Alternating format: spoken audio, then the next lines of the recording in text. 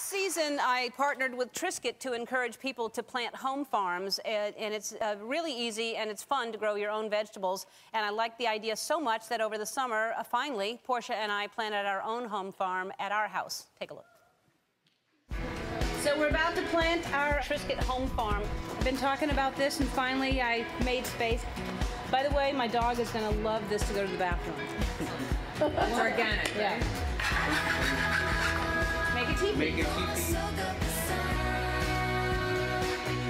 So Ellen, I think you should put the first plant in. That's perfect. So the, basically the top. Yep. Okay. And pack it in pretty tight? That's not too tight. No, not too tight. Yep. Just sort of make sure that it's all covered. I think I'm tucking That's it in it. to go to sleep. night, night. Give it love. Give it love. That's it. It's that easy. It's that easy. And we'll see whose plant grows better because I tucked mine in a little tighter. Okay. Okay, we have different types of tomatoes. He's a celebrity. Oh, well, listen, if you guys are gonna do a three and that, That's the only kind I grow. I should put sunglasses on it or something.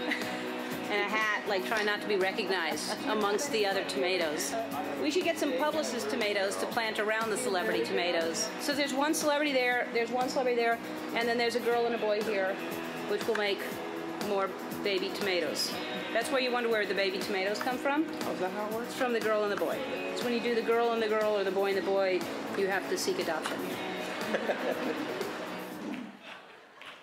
All right, so this is what it looks like today, and they're growing like crazy. And this is uh, this was just taken last week, and we have all kinds of vegetables that we go out and we have herbs and we cut from the garden all the time, and it's growing like crazy. I mean, it's been uh, I guess like a, a month and a half, something like that. Really, really fast. That's our eggplant that's coming along, brand new, and I brought some that I just put on my counter from uh, the garden in my kitchen today. This is all from my garden, just from not too long ago.